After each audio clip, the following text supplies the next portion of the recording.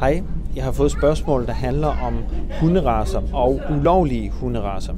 Spørgeren skriver, at de har fået en ny valp, som er en blanding af en Labrador og en Husky, som har nogle brune pletter og nogle aftegninger, der godt kan få den til at minde om en amerikansk Staffordshire Terrier, som er forbudt i Danmark.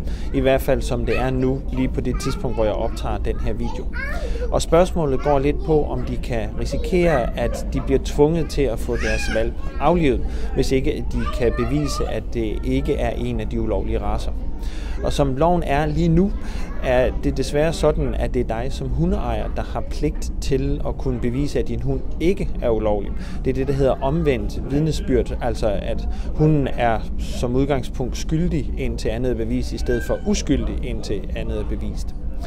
I papirerne står der kun blanding, som spørgeren skriver her, og det er selvfølgelig lidt et problem, man lavede reglerne om sådan, at valpe skal være chipmærket, inden de bliver 8 uger, altså inden at de flytter fra opdrætteren.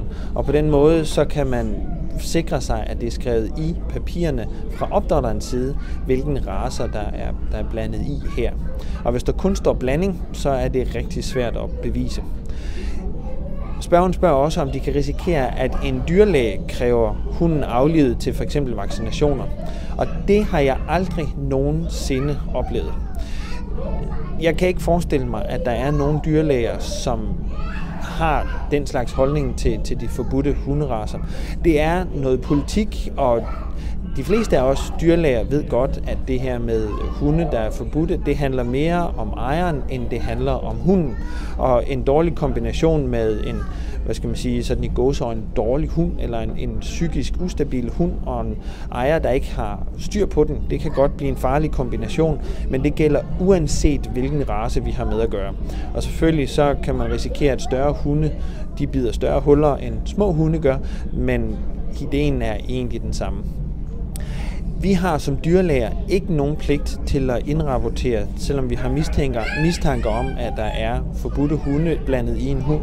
Det er noget, der står imellem hundeejeren og politiet. Og hvis en hund skal aflives på det baggrund, så er det noget, politiet beder om hos en dyrlæge, som de har kontakt med.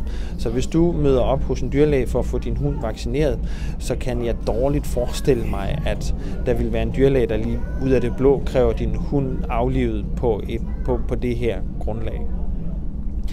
Udover det, så kan det være en rigtig god idé at få i papirerne, hvad det er for nogle blandinger, der indgår i hunden.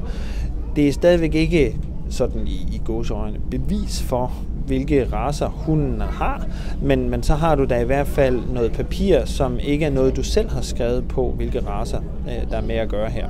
Og som det er lige nu, der har vi nemlig ikke blodprøver, der viser, hvilke raser vi har med at gøre, så vi har ikke andre måder at kunne dokumentere det på. Hvis du selv har spørgsmål om din hund, så skriv dem i under videoen her. Og husk også at subscribe på YouTube, så du kan få opdateringer og flere videoer som den her.